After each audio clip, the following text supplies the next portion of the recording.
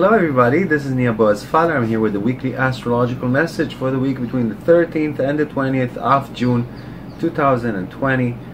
Merry summer solstice for all of you in the northern hemisphere and merry winter solstice for all of you in the southern hemisphere. This is the longest day in the northern hemisphere and the shortest day in the Pacific so, this is a transformative time. We are heading into a lunar eclipse in the zero degree of Cancer. And on the solstice, this is a very transformational period. Two out of three this year that astrologers have been talking about for a long time. The first arrived between January and March. We all know what erupted back then and the second one is coming now from the end of June through to July and then the third from November December onwards. Just the end of November and December. So we're heading into the second wave. Now this can be a second wave of corona like it was in the first uh, transformational period but it doesn't have to be in the second and the third waves corona alone. It could be the economy it could be war and conflict it could be civil unrest this is a transformational time for economies and countries, and countries come into the magnifying glass as this eclipse is in um, the sign of a cancer, which symbolizes what we feel is our home and also in the broader sense our homeland.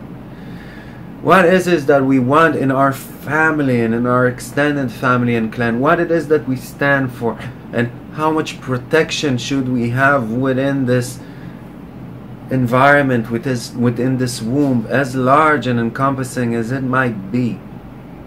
Family in the true sense of it our family members our parents and our children come into a magnifying glass through this month and through this eclipse and the way we are handling our own feelings what we need to keep us safe and sane and this is truly a time that we need to cleanse out patterns in our personal and collective behaviors that have been needed in the past, in fact, maybe even necessary to preserve us, but are no longer. What was food in the morning is shit in the afternoon. We have to get rid of it. Stay with less, but less that is much healthier, less that is much better and more moral and ethical for everyone. So this is what this time is about. And the changes need to start within. Fight for everything you don't want to bring back into reality. Fight for that change. Fight for this evolution and do it peacefully, non-violently. Do it lovingly. Because the, truly, the most terrible thing that we could do now, I see everyone quarreling. I see right, left wing, right wingers and left wingers. I see blacks and, and whites. I see Arabs and Jews. I see rich people and poor people. I see Democrats and Republicans. I see Muslims and Hindus. Oh God, I see gays against transgenders, against lesbians, against. Wow! So many differences. Can't you overlook them and see what unifies us? if we would not be able to do it, if we won't rise above our differences and see the love that connects us all, we will need to learn it the hard way. We will need to be humbled. We will need to be purified.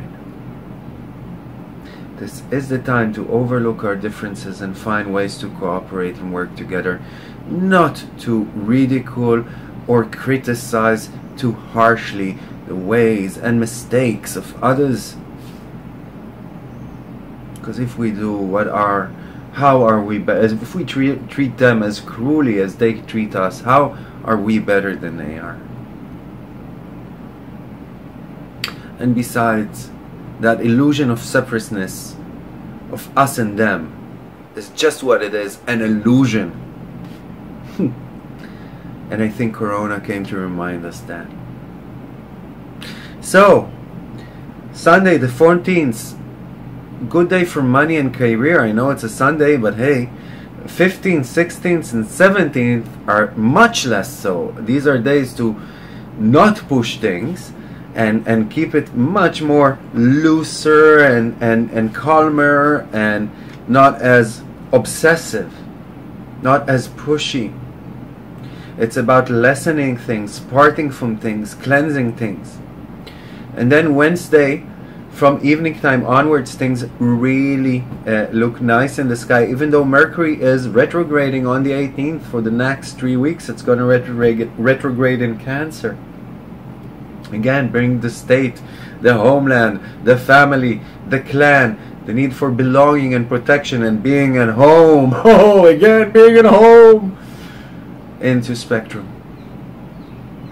But other than that, it's a wonderful day. There's a lot of green aspects in the sky, and it's a good day for communication and energy and intimacy. That's your Thursday. Friday and Saturday just packed with energy with Mars planet male energy sextile thing, sextiling Jupiter and Pluto. Very combative kind of formation. We have to watch out, not to lash out, not to be um, aggressive in our personal lives and in our social lives. We could see eruptions. We could see eruptions. Again, what patterns do we wanna leave behind? And then on the 21st, we have the solar eclipse and the summer solstice. It's on the 20th in some places in the world. And we are heading into a very transformative second wave. So brace yourselves. Take care of what truly is needed your families, yourselves, your emotional side. Everything must be in order and hygienic and healthy at home and in your near surroundings and understand that this is more of a time of reflection than it is of action again. And as we are heading towards next week, things are getting more intense already. So, maybe really heighten the light, fight for what is right, and do it in a way that when we look back at that time, when we look back at these times, you would say, as challenging as it was, Boy or girl, am I proud of you. I, I'm very proud of the choices you chose to exert, even though it was very challenging. So may we all feel that way about each other and about ourselves, and for the right reasons.